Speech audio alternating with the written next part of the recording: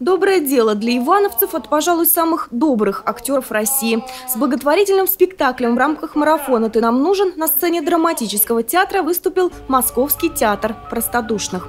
Необычного, так до конца и не понятого Гоголя ставили необычные актеры. Большинство из них с синдромом Дауна. Вначале были какие-то мои амбиции как режиссера. И я о них, о своих вот этих э, простодушных артистах особенно не задумывался тогда. Хотелось реализовать свою идею. И, конечно, я их позвал для того, чтобы вот был, э, сцена стала местом встречи, как говорится, тех людей и этих людей, которые обычно не встречаются э, при других обстоятельствах. Ивановскому зрителю театр простодушных представил повесть о капитане Копейкине. Это гоголевская история об инвалиде, который возвращается домой с войны и оказывается никому не нужным. Ему уже нечего есть, а все государственные инстанции кормят его блюдом под названием «Приходите завтра».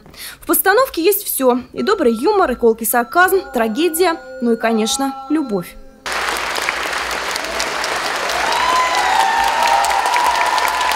На новой для себя сцене актеры не успели провести репетицию. Однако к небольшим заминкам зритель отнесся с пониманием. Я не очень понял, что за зритель был сегодня, вот, потому что мы так волновались, не успели подготовиться, собственно, к спектаклю.